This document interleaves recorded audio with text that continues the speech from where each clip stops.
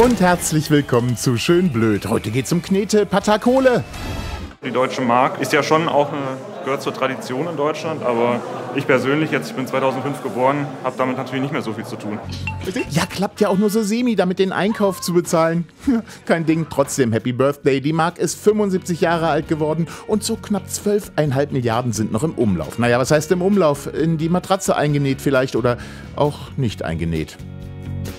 Das glaube ich nicht, Tim. Doch, doch, ist alles wahr. Aber egal, wichtiger war diese Woche eh Lambert. Nein, nicht Christopher Lambert oder wie die Franzosen sagen, Lambert. Es kann nur einen geben. Nein, es äh, gibt zwei. Das Unwetter nämlich, Tief Lambert, zog über den Norden und am Kasseler Bahnhof Lemsö sah es plötzlich so aus, äh, als hätte man den hier gut gebrauchen können. Mal gut, dass keiner sauer war, dass dadurch die Bahn unpünktlich kommt, weil äh, kommt sie eh.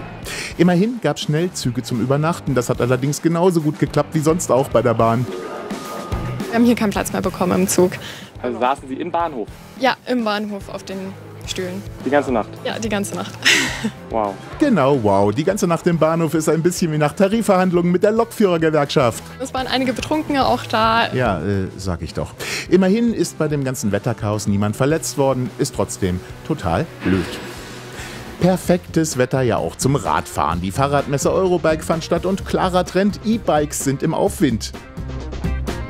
Ich kann hier 100 Kilo drauf tun, das heißt ein Erwachsener und ein Kind, das heißt ich kann Kollegen problemlos zum Bahnhof äh, fahren. Ja, das liegt voll im Trend, den 100 Kilo Kollegen zum Bahnhof zu fahren. Macht bestimmt sehr viel Spaß bei so etwa 38 Grad im Sommer.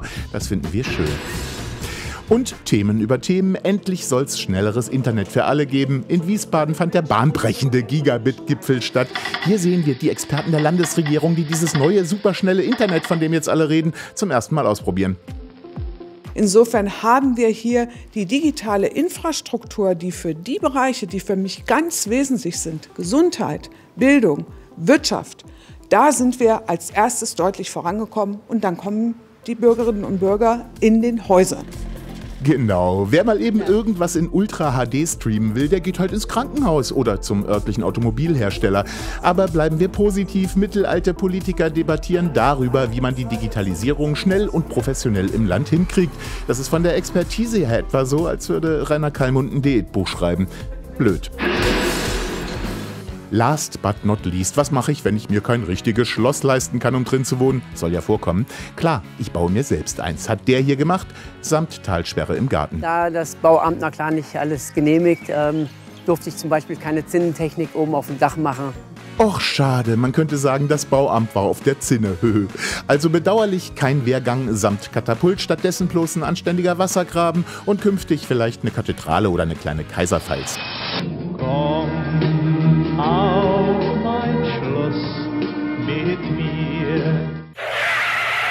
Äh, nein.